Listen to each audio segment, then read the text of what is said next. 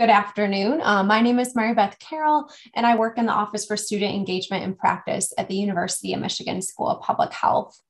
Our team um, supports prospective students all the way through current students and beyond uh, through graduation. Um, we have several teams in our office, um, including um, admissions and recruitment, um, student affairs, um, undergraduate education, as well as online. We also have a careers team and, of course, public health practice, which we're going to focus a little bit on today. My pronouns are she and her, and I'm really happy to be speaking with you all today. Hopefully, this isn't your first interaction with our recruitment and admissions team, um, but if it is, we will be sharing some of that contact information if you have questions about applying. So while we're here today is um, we are kicking off our first enrichment session titled From the Classroom to the Field and the World of Public Health Practice. I'm joined by my colleague and I'm here to introduce her to you, um, Richardson, who works as a manager in strategic partnerships and ex experiential learning in the Office of um, Public Health Practice. Um, so with that being said, Sade is also an alum of the school um, when she graduated not too long ago, so she can also share her current student experience as well as her experience as an alum too. Um, just to give you a little sense about the public health practice, um, I'll share that with you and then we'll pass it over to Sade. Um, public health practice at Michigan Public Health extends the university's resources to public health practitioners in government and community-based organizations, and it provides practice opportunities to our current students and faculty. Programs housed under the public health practice umbrella demonstrate the school's commitment to securing and strengthening Michigan Public Health's current and future public health practice through student engagement, workforce development, and community engagement. So with that, I'll turn it over to Sade. Um, the way today's session will work is she will provide you with some formal remarks about the office and how you can get involved as current students, and then we'll take some questions after that. So stay tuned, and if you do have questions while she's speaking, please feel free to throw them in the chat. Thank you. Thanks. Hi, everyone. I am Sade. My pronouns are she, her, hers. And as Mary Beth mentioned, I am an alum of the School of Public Health and also the School of Social Work. So for those interested in HBHE, that or health behavior and health education, that was my department. So who are we in practice? So practice comprised of myself, Sade, and Laura Power, who's our director of the Office of Public Health Practice, and she's also faculty in the Department of Epidemiology. So, what exactly is public health practice? So, it's the strategic, organized, and interdisciplinary application of knowledge, skills, and competencies necessary to perform essential public health services and other activities to improve the population's health. So, public health practice is really about preparing you for the public health workforce and being mindful of those sort of 10 essential services of public health that are laid out and how you can apply what you're learning into the classroom to the field. At Michigan Public Health Practice, we build and nurture individual and community and organizational capacity for improved population health and greater health equity. And I'm going to talk about how we do that. So we do this in a variety of ways. The big buckets that we can think of is student engagement, workforce development, and community engagement. And we provide technical assistance across all these different areas. And today I'm going to focus more a bit on what we do with students and the ways that you can tap in there. So you can think of practice as having all these different buckets. So I'm going to talk today about the Public Health Action Support Team, the Public Health in Action courses, the Albert Schweitzer Fellowship, and the Public Health Perspective series. So first, the Public Health Action Support Team, I was a member of PHAST when I was a student. Um, and it's really a transformative way to get involved with what's happening here locally in Michigan, Michigan, but also provide opportunities to be deployed potentially to the US Virgin Islands, Mississippi, Grenada, and other places as needed.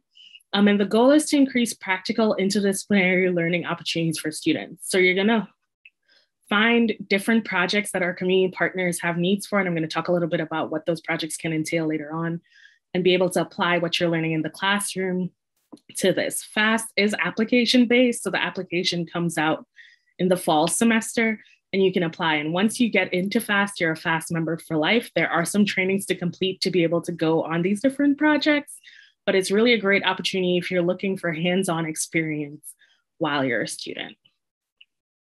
So, as PHAST members, you'll practice exploring public health challenges through a variety of different lenses, serve alongside community practitioners and fellow students on meaningful work, and deploy regionally, nationally, and throughout the world to address emerging 21st century public health challenges.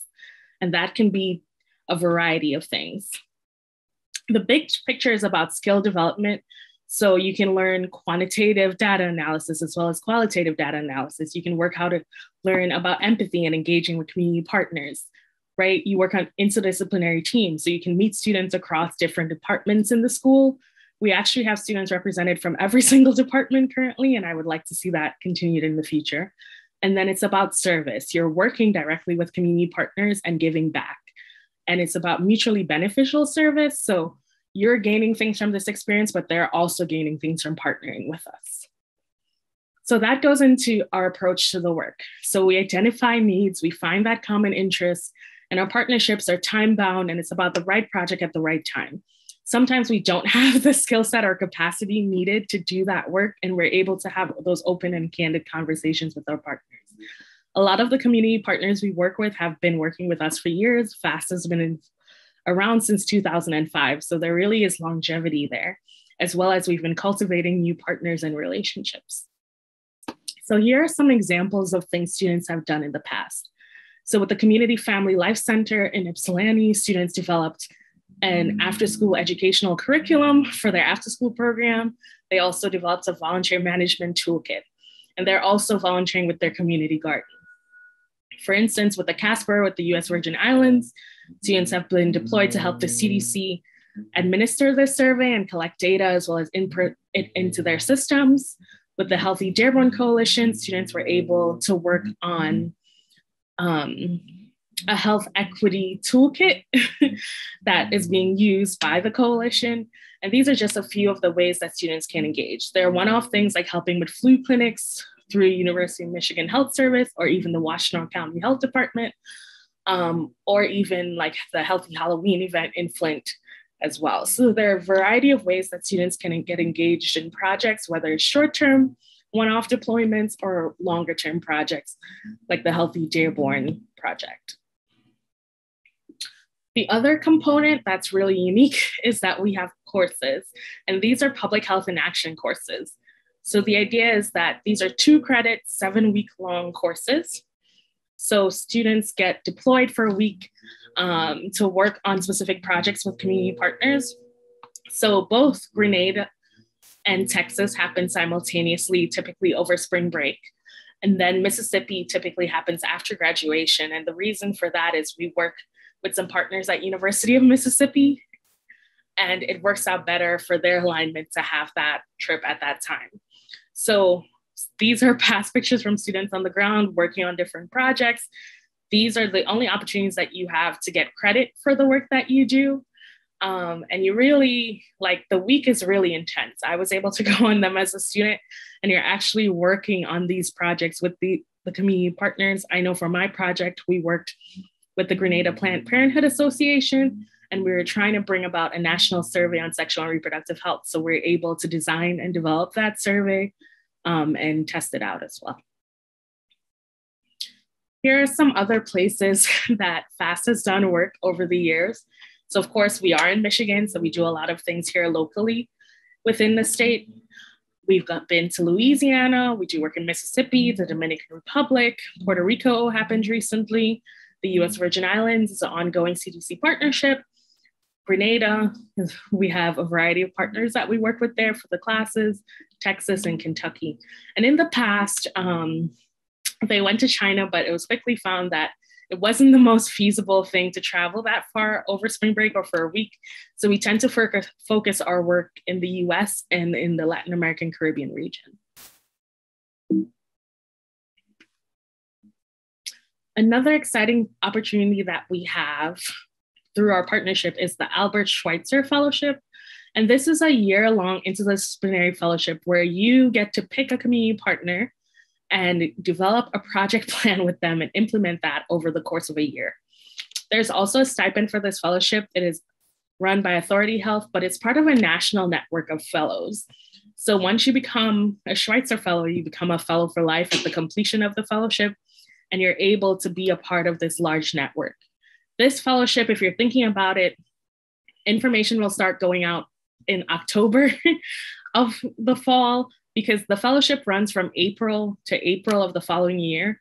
So you would ideally apply during your first year, but you wouldn't start it until um, your second year. And I would like to highlight that one of the requirements for MPH students is the applied practice experience. And these opportunities that we have within the office actually count towards this. So, an APEX project, if you haven't heard of it, it's about promoting your professional development by exposing you to real world public health activities, which is exactly what practice is and what it's about. And it provides an opportunity to showcase the skills that you've learned in the classroom um, based on your own professional goals.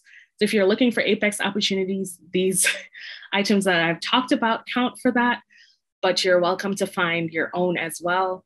And there are lots of ways that you can do that. I highly recommend if it's something that you're thinking about to talk with the program coordinators in the different departments because each department handles this differently and you'd want to have the best and most accurate information. The other piece of what we do is the Public Health Perspective Speaker Series. And these are informal opportunities to engage with public health practitioners. So you get a chance to ask them about a day in the life of their careers. What does it look like? What does it mean to be a public health practitioner?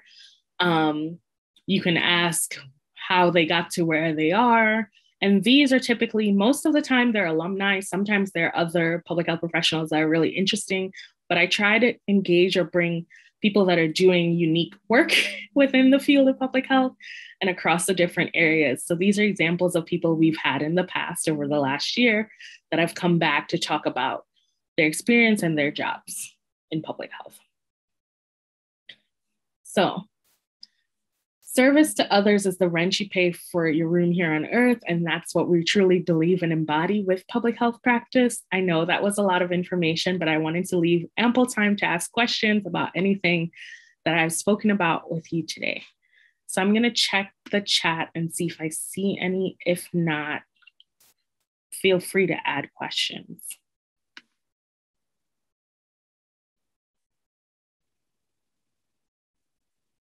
Thanks so much, Sade. That was really informative. If anybody does have specific questions, like she said, please feel free to throw them in the chat. We're happy to take them. If you also have questions related to the current student experience or anything in general, please feel free to, to put it in the chat. We're, we're here and equipped, and if we don't know the answer, we can certainly find it for you. I see a question, what does the program in Texas do? Um, so the projects vary year to year. So it really depends on what the specific partners need. So the Texas project is in partnership with University of Texas Rio Grande Valley. It's focused on the border towns. Um, so it could be things from doing surveys, right, or translation if we have Spanish speakers. Those are some examples of some things that have been done in the past. So each year we work with our partners on the ground to find out what the needs are, and that's what informs the projects for that year.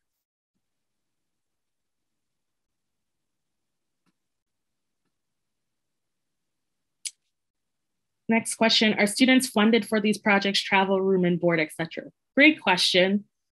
The majority of the expenses are covered. However, there is a small financial component for students um, that can vary depending on the project, but the bulk of your travel costs and room and board are covered. Food is typically the responsibility of the student or other underground expenses. My question is on postdoctoral fellowship in public health and how do does someone apply for it? I'm going to pass that to Mary Beth. Sure. So, in terms of funding, um, the majority of our um, doctoral students are funded. However, postdoctoral fellowships would live within specific departments. So, I can put in the chat information about our department program coordinators who can provide more insight in terms of what opportunities may be available. I'll do that in just a second. Um, Barb, I need a little bit more clarity on your question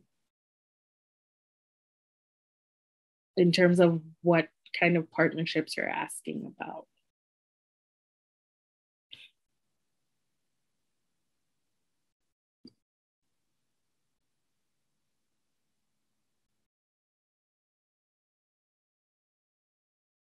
While we are waiting um, for that reply, um, just a couple things that I want to note that I put in the chat box. The first being a link to our website that highlights our prospective student discovery series. Um, now, the majority of those live sessions have been um, completed. So, with that, we have some awesome recordings available to you all. So, please feel free to check out the website to look at the recordings so that you can learn more about your department of interest.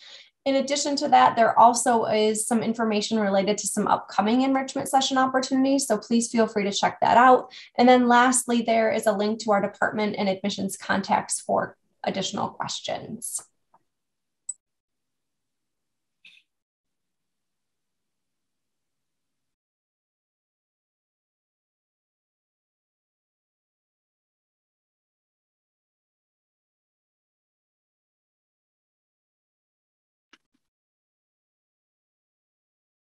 Any other questions?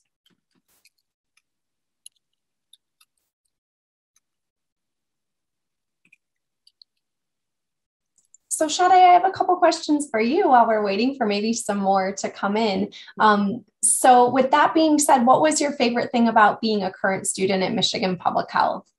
Sure. Um, I think my favorite thing about being a student at the School of Public Health was having opportunities to work with students across the university. Like it wasn't just specifically public health students. I could interact with students at the business school or at the School of Information. There are tons of different fellowships or competitions or grants, case studies, and contests that you can participate in as a student that allows you to build your network in different ways and hear perspectives beyond just public health in the world that we're in. I see a question. What are the eligibility criteria for the Albert Schweitzer Fellowship and is it included or offered to the online master's student program? Good question. So, the eligibility with the Schweitzer Fellowship, you do have to be in Michigan. There are some online master students, but they are based in Michigan. So, they're considering applying for this fellowship because you're working with an organization here. Um, and there is sort of a residential component where you're going to be doing um, these meetings with other fellows in the area or like leadership series sessions or things like that. So you would have to be in Michigan to do it.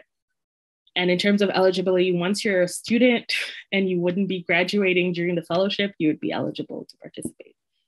It doesn't matter if you're a US citizen or not.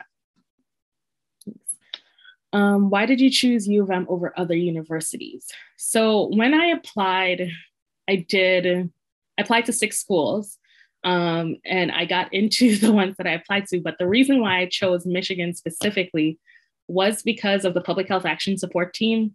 That didn't exist anywhere else. And I had also completed a summer fellowship called the Future Public Health Leaders Program at U of M um, as an undergrad. And it really made me feel more comfortable once I visited. Plus, when I visited a school that I shall not name, um, one of the faculty members there said I could either choose to come to that school and have like a really fun life outside of school, or I could go get a better education at Michigan. So I figured I would listen to that and go to Michigan. And I also got scholarship funding at Michigan, and I didn't get that anywhere else. Um, uh, people who are part of the GEO program eligible for the fellowship, yes, you are eligible. In some ways, you're a little bit luckier in the sense of since you're in the dual program, you could potentially be here for three years. So you could do it in your third year as opposed to your second year, depending um, on your availability. So yeah, you are eligible. And I think the thing that's key with the Schweitzer Fellowship, it's about your own time management. Like you are deciding with that partner what you can do, and you sort of map out your hours, how you plan to spend your time. So if you know, for instance, you have a really tough course load, you know, or you have exams coming up, like you can make adjustments as you go as well. It's really about you and the community partner and mutually beneficial relationships. Any other questions? Sade, you mentioned um, Future Public Health Leaders Program. Would you be able to expand a little bit about what that opportunity is? Sure. So, the Future Public Health Leaders Program is a way to expose you to public health careers. If you're an undergraduate, that's an opportunity for you. Um, you apply, and essentially, it's a CDC funded program. So it's part of the CUPS, the CDC Undergraduate Public Health Scholars, I think it is, which is like four or five programs, and FLIP is one of them. Um, but you come to Michigan over a summer. You also get a stipend. They house you in campus housing. You go to classes which are taught by Michigan faculty. You're assigned a mentor. I'm a mentor for the program. So I mentor a group of students where we have meetings to talk about public health, what that means, what you're thinking about for your career. And it also um, places you at a job. So you work with an agency um, for a couple days a week. So it could be some people worked at the EPA, the Environmental Protection Agency. Some people worked at Michigan Medicine. Some people worked at other nonprofits in the area. I worked with an agency in Flint called the Your Center. So you could be placed in Detroit or you could be placed in Ann Arbor, you could be placed in Flint, um, and you like carpool to get to that. But it really is a way for you to understand and better grasp the breadth of what public health is and the different careers that you could potentially have. Yeah, thanks. I think I saw someone raising their hand.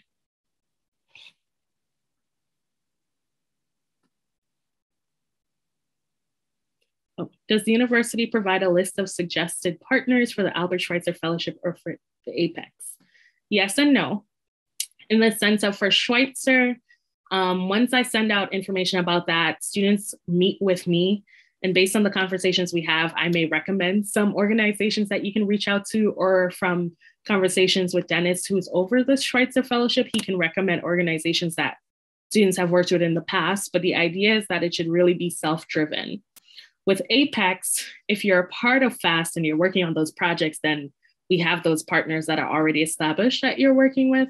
Um, but Apex opportunities could come from your jobs, it could come from emails that go out from your departments, things you may be working on with professors. So there's a variety of ways that those can happen. I hope that answers your question.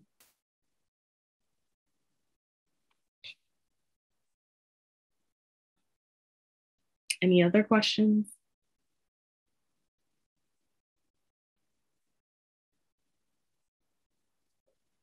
Um, this might be for Mary Beth, whether the short courses or certificate programs, example, three, six months, or a year programs. Yeah, so we do offer some certificate programs both for our online population that are enrolled in the MPH program, as well as our residential graduate program that is primarily um, our MPH and MHSA students. I'm happy to put links in the chat for those.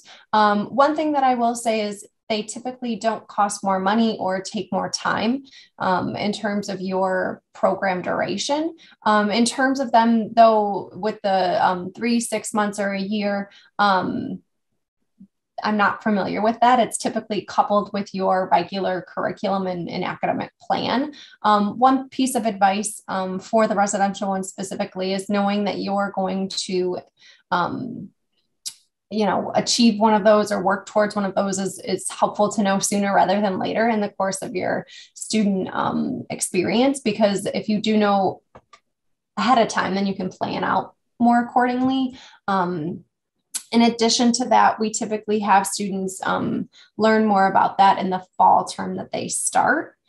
And i like i said we'll put more information in the chat about those Any other questions?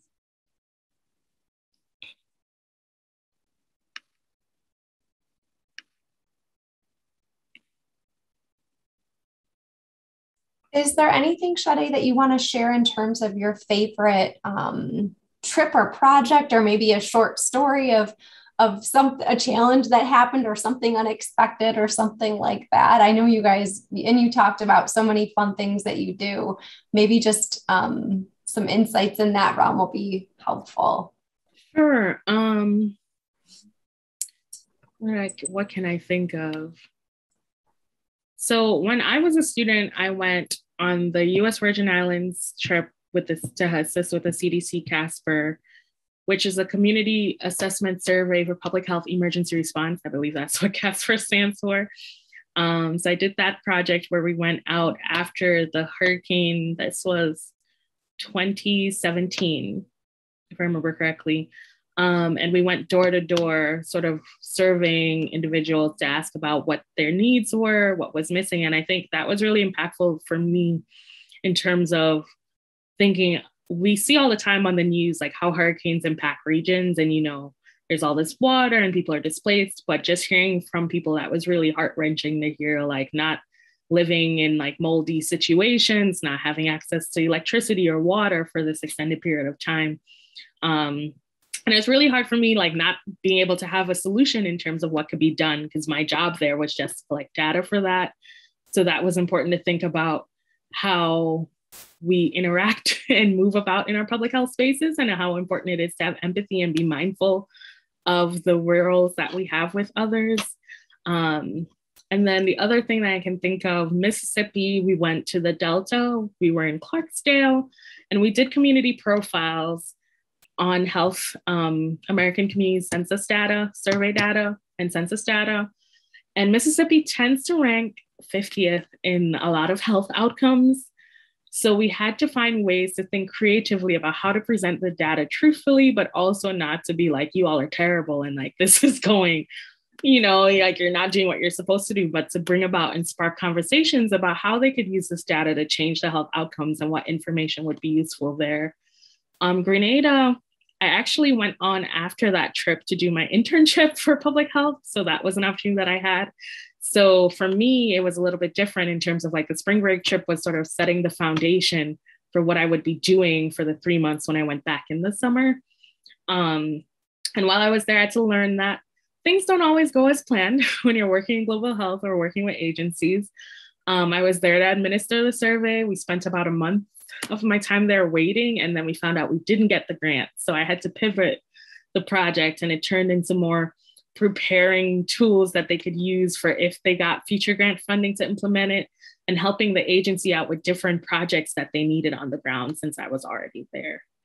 Yeah. Mm-hmm. And I think these are all really unique opportunities. So if you do choose Michigan Public Health and you're admitted, um, I would consider doing them, at least one of them, so you can have a sense of what public health is really like in the field. Um, are there any climate adaptation related project examples from PHAST or maybe Schweitzer Fellowships? Just wondering if there's a history of addressing climate policy related issues. Um, I would say not specifically that I can think of in terms of Schweitzer, in terms of PHAST, we've done, so we do an emergency preparedness exercise with the Washtenaw County Health Department. Um, and that's sort of a simulation of how to use the incidents command structure. So students take on those different roles to address topics. Um, so last year we did when football meets COVID 19, and a couple weeks ago we did climate change and misinformation. So having conversations about what that looks like within public health and addressing those challenges of what could happen. Um, however, I will say the projects for PHAST that we typically have are driven by student interest. So the things that students have expressed their interest in is what I try to find with our partners, but it's also based on partner need at that time. And I know climate change is something that stems a lot of different issues or areas. So it may not specifically say, like, oh, this is, or explicitly say this is a climate change project, but there are implications within those projects. I hope that helps.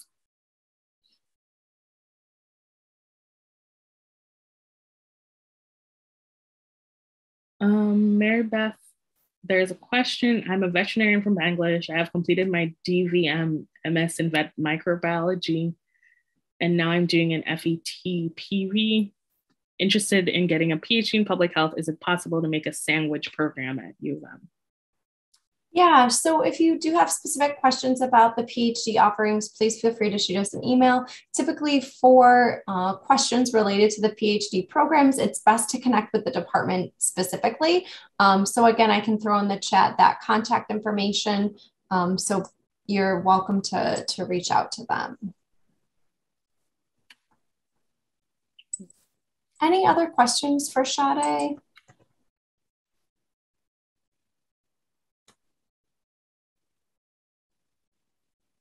Anything else you'd like to share, Sade? Um, oh, I do have my contact information here. So if there are specific things that you have about public health practice that you would like to ask, or something that you think about after this session. Maybe you go to our website and you see things about PHAST or you're curious to learn more. Um, feel free to reach out and I'll do my best to answer those questions and share the experiences that I have. But just, I think PHAST is a really unique opportunity and something that we don't see in a lot of different places, or it definitely wasn't something I saw at a lot of programs when I was considering public health schools. Um, and it's important whether you get involved in PHAST. There are tons of student organizations at the School of Public Health, so I encourage you to do something outside of just your academics while you're in the program. Oh, um, could you please share your ideas about exchange programs, students, and faculties? I don't know if we have exchange programs, Mary Beth, do we? Sure. So we do to some capacity, but it, it really truly depends on um, what your interests are. So if you do have um, more specific questions, we're happy to answer those offline. I will put in the chat here our recruitment and admissions team email box. And again, please feel free to email us about your um, specific inquiries at any time. And here it is. And again, that's our recruitment and admissions team. If you have specific questions, um, such as this one, or questions about the admissions process, please feel free to let us know. Um, our team is happy to support you throughout your application process, and we hope to see you next fall. Anything else that I'm missing, Sade, before we sign off? Nope, I think that's it. And I hope you all learned something about public health practice and what it looks like at the School of Public Health at Michigan. Great. Well, thank you, everybody. We hope to talk to you soon. Don't hesitate to reach out if you have questions. Have a great day.